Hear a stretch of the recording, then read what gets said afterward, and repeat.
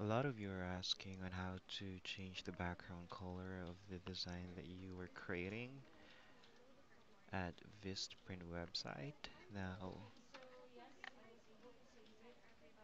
here, here's the tip on how you can change the background color.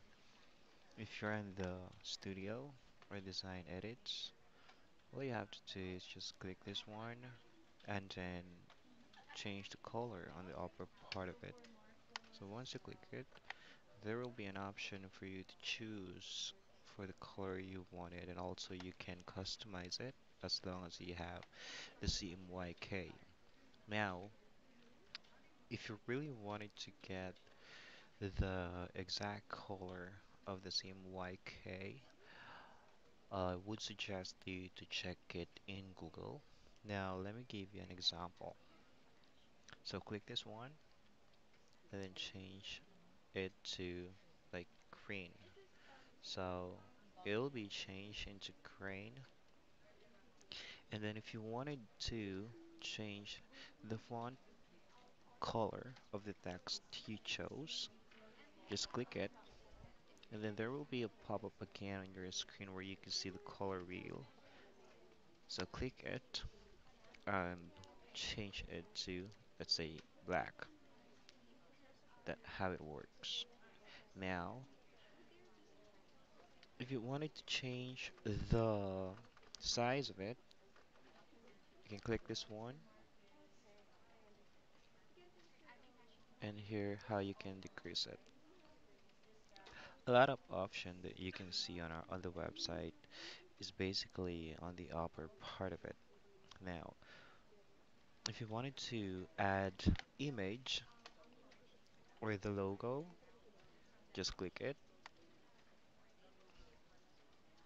and then click upload. That way you have an option to upload the image. Now, if you doesn't have like a background color on your design, say for example it's it's plain white or you're unable to delete it, what you're gonna do is to click this background color, then on the upper part of it you'll see delete. Now, if that is a white um, card without a background, in order for you to put a background is to click this one, shapes. Once you click it, there will be a black square that you can see and once you click it it'll automatically pop up here on your screen. Now for you to be able to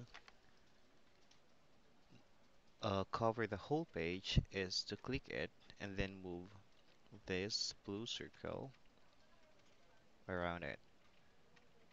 The most important is to cover the whole page with this background in order for it to be printed without white lines White lines means like a border, like a white border on the edge of your design.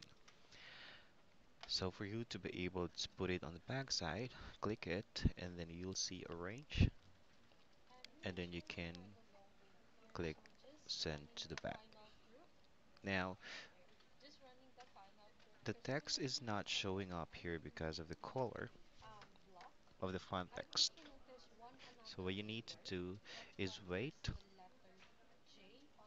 for the blue lines to pop up, click it and then click again the color wheel there will be a pop up on the upper part of your page and choose the color you wanted like white or yellow. I think yellow is better than white if you will choose the black background. So change it. Was my name? I'll wait for it and then click this one and then move and then yeah there you go. Thank you for watching.